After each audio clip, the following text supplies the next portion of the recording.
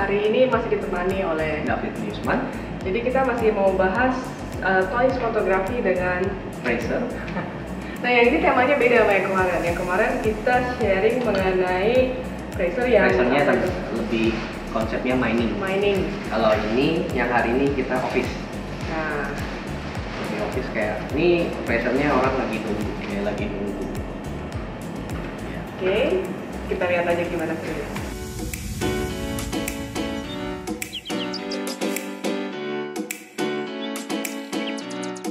Nah, kita mau bikin temanya apa nih, Vin? Temanya gitu tadi lah saya pikir ini ada apa namanya alas alas alas eh, sebenarnya alas-alas buat Iya. gelas gitu Gelas biasa gitu. buat properti buat ikut fotografi gitu lah terus ada brokoli. Brokoli. brokoli ini bisa kita jadi seakan-akan kayak pohon Hmm. pohon yang rindang yang besar kita taruh di sini kita mau ada ini juga anggur Nah, pressernya nanti kita mau susun di sini seakan-akan pressernya lagi nunggu. Oh iya terus nanti kita mau coba pakai anduk warna biru juga buat kasih buat efek, efek langit. langit, Seolah-olah langit, warna biru. nah si anggur ini tadi ceritanya maunya kita bikin apa? Anggur. kita mau kayak semak-semak gitu Semak, ya? Semak, semak, Soal naik. diolah-olahkan sebagai semak-semak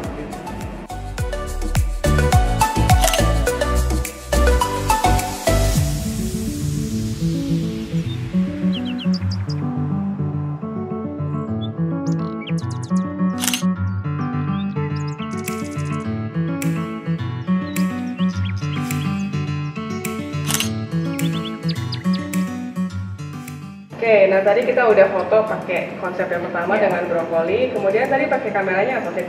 Kita pakai Nikon D850. Eh, lensanya pakai yang lensa IFS Micro 105 2.8. Jadi kadang-kadang kita juga eh, setiap foto itu kan beda-beda ya. Jadi kita mesti nyoba-nyoba juga pakai lensa yang mana yang paling fit Yang gitu. paling cocok. Hmm. Jadi eh, kita sendiri selalu mempersiapkan paling nggak dua lensa buat opsi. Gitu. Nah kemudian Tadi sih enak banget ya kita pakai Hmm. battery ya, Ci ya. Iya, kita tethering. Tethering. Jadi memang kan sama seperti episode yang pertama, kalau misalkan kita motret yang eh, modelnya kecil-kecil kayak gini, jadi biasanya tuh kita butuh banget detail yang lebih jelas. Soalnya kalau kita lihat cuma di monitor kamera aja terlalu sempit gitu. Jadi kita tethering masukin ke Capture One. Jadi di laptop saya saya install Capture One Pro, kemudian saya tethering dengan eh, kabel kabel tethering seperti ini. Jadi di connect langsung dari kamera ke eh, laptop.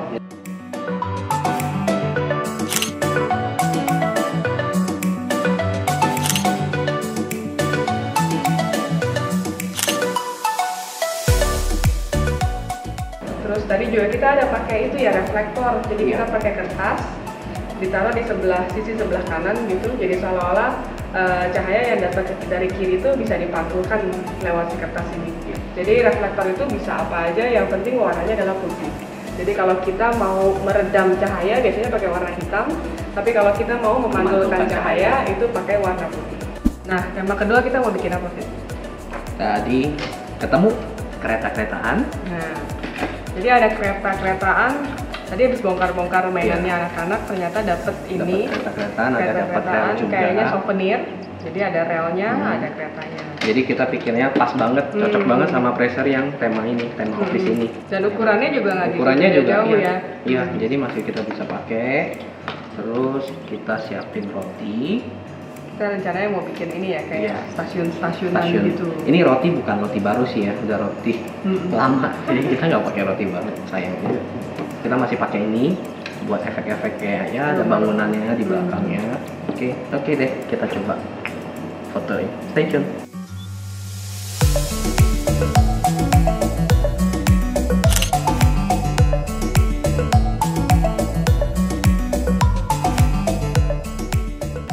Kenapa kita pakai yang kereta-keretaan ini?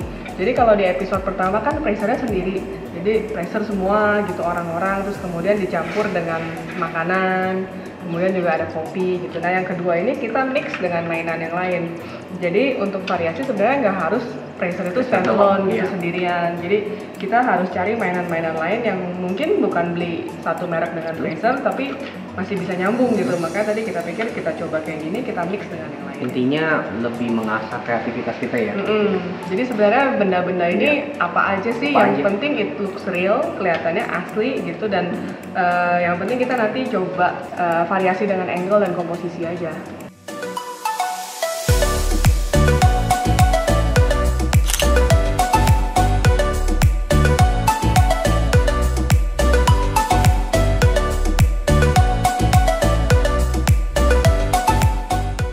Nah, kita udah kelar nih motretnya. Jadi kesulitannya apa tadi ya, Fit ya? Kesulitannya tadi kita menentukan angle komposisi yang Iya. oke-nya gimana nih dan satu lagi ini kan kita kita masih istilahnya membayang-bayang imajinasi susunannya rotinya kegunaannya buat apa gitu terus terus si roti ini juga tadi, Iya. ini kan empuk banget.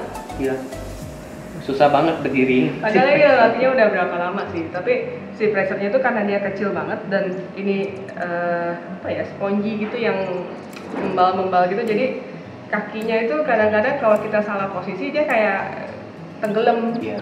Jadi kayak tenggelam seolah-olah kayak masuk ke lumpur atau apa gitu. Jadi kita tadi coba usahain supaya kakinya tetap kelihatan natural dan nggak tenggelam gitu. Eh, itu lumayan challenging sih karena posisinya kecil. Terus kita mesti yang berulang-ulang kali kalau nggak dia jatuh-jatuhan terus gitu. Nah, jadi kita ini percobaan dan dengan pressure ini kita sebenarnya kita jujur Baru kita baru kali. pertama kali hari ini kita cobain gitu. Kalau yang kopi sebelumnya udah Kalau yang kopi bikin. sudah pernah, cuman kita karena tadi kita coba cari beberapa konsep, kita paduin dengan kereta api, dengan roti, dengan bangunan. Jadi kita masih istilahnya tadi kita juga saling bereksperimen Iya, betul. supaya nentuin angle-angle mana yang bagus, komposisi mana yang bagus. Jadi Hmm. yang penting kita mau coba ya. Iya, yang penting tuh mesti mulai motret. Yes. Jadi yang penting jangan jangan nyerah dulu, jangan apa-apa, oh saya nggak bisa ngerjain ini bisa, gitu. Yang penting coba. kita coba dulu. Begitu kita coba, ketemu masalah, nah Iya. habis itu kita betulin. Iya betul. Selalu kayak gitu. Jadi eh, coba dulu, error, betulin. Jadi itu proses belajar di fotografi yang benar. Jadi kalau cuma tahu teori aja, percuma juga, nggak ada juga. Nggak ada efeknya. Dan saya sendiri juga terus terang, kenapa saya bareng David? Karena saya juga bukan toys photographer. Jadi makanya saya bawa David, kita sharing. Jadi oh saya punya idenya seperti ini, di bayangan saya tuh seperti ini, di bayangan David seperti ini.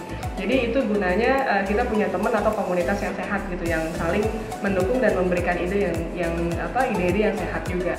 Nah settingannya gimana tadi Fit? Masih Settingannya pakai lensa makro ya? masih pakai lensa makro, nggak jauh berbeda dengan yang kita minggu lalu kita bahas ya. Settingannya masih, cuman karena ini di dalam ruangan, Hmm. ISO tentunya pasti lebih Ya, tinggi. lebih tinggi. Tadi sekitar agak tinggi sih sekitar 2000-an sampai Hmm. 3200. Kenapa? Karena kita mengejar F-nya F kecil. Nah, toys fotografi dengan tema kedua sudah selesai. Jadi tema pertama masih dengan Fraser, tema kedua dengan Fraser. Nah, tema ketiga nanti kita dengan mainan yang berbeda. Jadi eh, jangan lupa di subscribe Subscribe terus. Hmm, supaya jangan ketinggalan nanti episode minggu depan kalau nggak subscribe nggak nggak tahu kapan Like, tayangnya. komen dan komen dan pengen bahas video apa lagi? Iya. eh, pengen bahas Komen di bawah. Komen di bawah. Iya, mau kita share apa lagi untuk episode berikutnya setelah fotografi. Jadi ya jangan lupa share juga ke teman-teman supaya teman-teman juga yang lain bisa ikut terinspirasi juga dan juga Thank you for watching. thank you for watching. Bye